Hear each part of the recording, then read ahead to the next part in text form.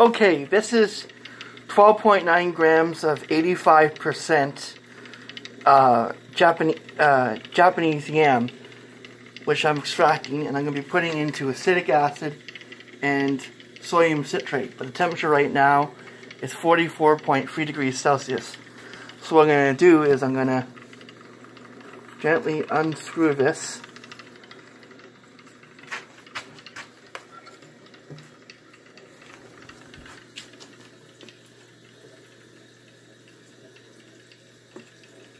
Take some.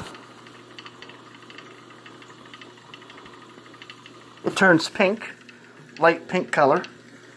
Now I'm going to take some more of this.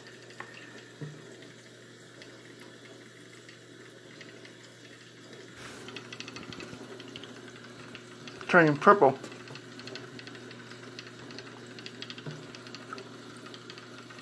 Yeah, yeah. It's purple. Purple pink.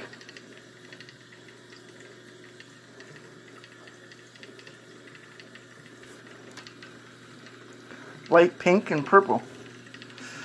Interesting.